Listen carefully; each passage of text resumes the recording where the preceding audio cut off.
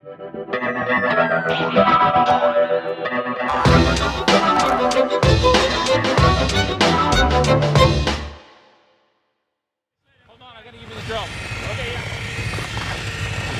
This way? Go that way first. I think we're going that way, yeah. But you wanna go this way? Uh, we'll go this way. Which go, way? Go ahead, Kevin. One, two, three. My name is Bill McFarlane. I'm from Franconia, New Hampshire. I'm also known as Saguenay Bill. I've been coming to this area for 30 years and to the Delta Hotel for the last 15 um, to enjoy the, my favorite winter sport, which is, of course, snowmobiling. And there is no better trails anywhere than here in the Saguenay.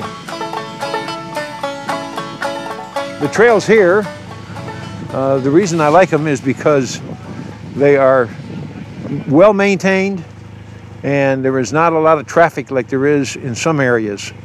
Uh, and the closer you get to the U.S. border, the heavier the traffic is.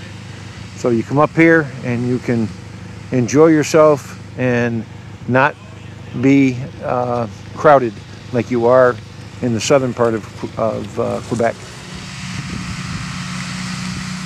My first time coming to the Saguenay was in 1984 um, in March.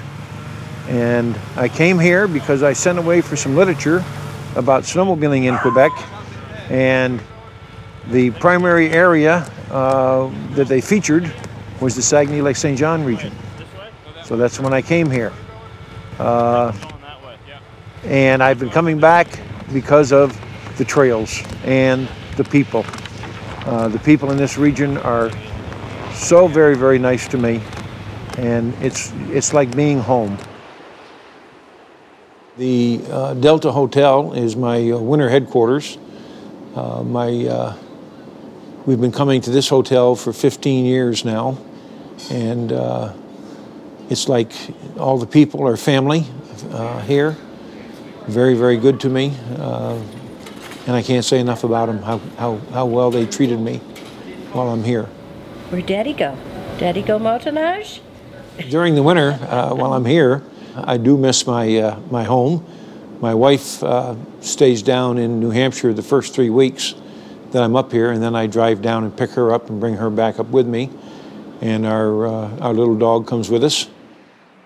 When you're living in it, you don't realize it. Uh, what a what a wonderful area you live in. It's just beautiful area. I can't I can't say enough good about it.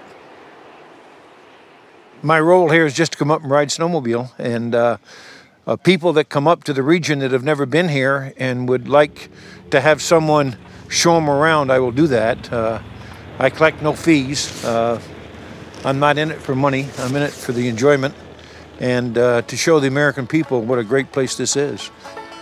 As I say, this is my second home. Uh, I wish it was my first home. I like it that much.